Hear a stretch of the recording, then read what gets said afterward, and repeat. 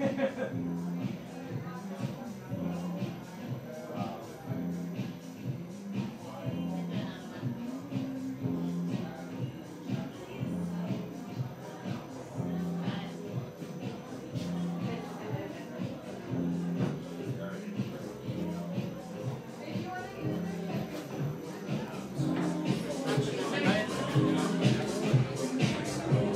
need a blanket to hold the rope though.